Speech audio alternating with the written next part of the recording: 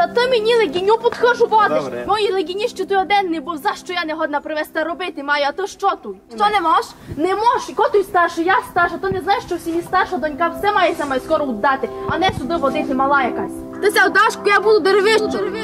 Ця історія від її дворців, школярів села Нижнє селище Хуцького району. У нас є така кіногрупа в, ну, в селищі, так якою я керую. В основі фільму тутешня містична оповідь про молодицю, яка таки померла незаміжньою. Головна задача фільму розібратися, де правда, а де вигадка, і розвінчати давні міфи.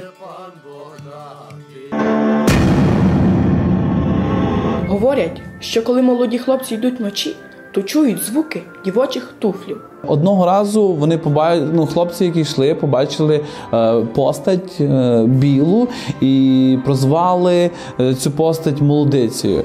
І зараз існує таке повір'я, що за, за неодруженими чоловіками ходить молодиця, котра хоче все-таки вийти заміж. Я їм дав жанри.